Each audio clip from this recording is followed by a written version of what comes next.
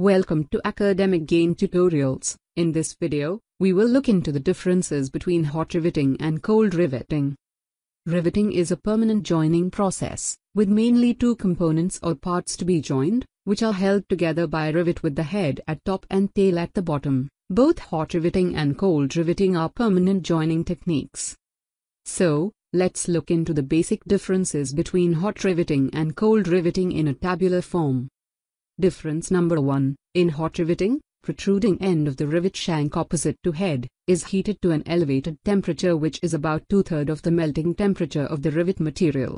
So upsetting is carried out at elevated temperature, whereas, in cold riveting, no such heating is made. Upsetting is carried out at room temperature.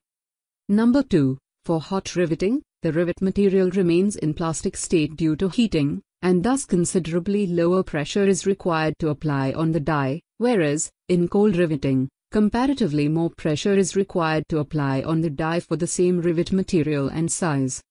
Number 3. In hot riveting, external heat source is required to elevate the rivet temperature, whereas, in cold riveting, no such heat source is required.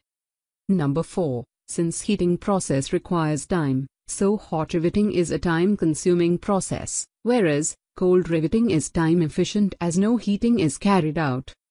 Number 5. In hot riveting, due to automatic volumetric shrinkage during cooling after the upsetting, tensile stress develops within the rivet shank.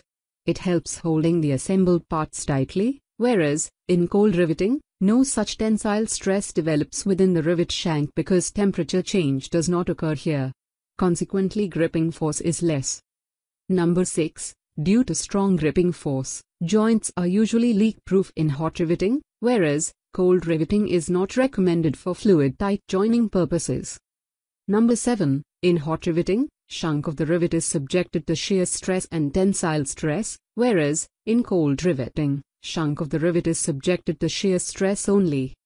And, difference number 8, it is suitable when rivet material is ferrous and or rivet diameter is above 10 millimeters. For non-ferrous rivets such as aluminum, brass, etc. of small diameter, cold riveting can be conducted,